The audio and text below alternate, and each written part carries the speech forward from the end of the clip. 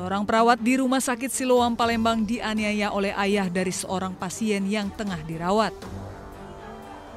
Korban dianiaya pelaku saat berada di ruang inap salah satu pasien yang hendak meminta bantuan korban.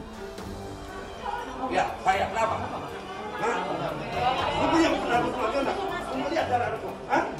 Menurut keterangan, penganiayaan berawal saat keluarga meminta korban untuk melepaskan infus di tangan pasien. Korban yang menolak membuka infus dari tangan pasien karena tak ada persetujuan dari dokter membuat keluarga pasien marah. Pelaku kemudian dianiaya dengan ditampar dan ditendang. Sementara di LP LP ini kan belum menjelaskan secara detail, tapi intinya pada saat dia dipanggil mungkin dia ingin nanyakan masalah gimana cara nyapu apa itu infus segala itu mungkin nggak puas gimana langsung pukulnya gitu aja. Makanya untuk pendalamannya masih reskrim itu lah. Sementara yang dipukul, yang dipukul itu ya memar-memar gitu aja.